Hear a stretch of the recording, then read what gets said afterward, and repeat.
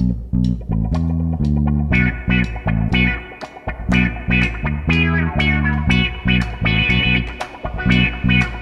أهلا بكم اصدقاء الكرنفاليين في كل مكان في العالم. هل قابلتم كرنفاليا من قبل من هؤلاء الكرنفاليين الذين قدموا عروضا ومشاهد وأغاني ومسيرات كرنفالية ستتعرفون عليهم الآن وعلى المواضيع الاجتماعية التي عملوا عليها والمشهد الذي قاموا به والطرق الفنية المختلفة التي قاموا بأدائها.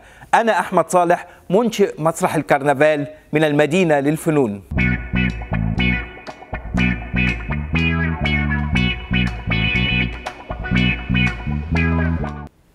من الجميل أن تتعرفوا على فنانين اختاروا أن يعملوا مع المجتمع ويلتزموا بقضاياه فيما يمكن أن تطلقوا عليهم أنهم فناني المجتمع أو فنانينكم أنتم وأتمنى أن تكونوا مثلهم. سنتعرف الآن على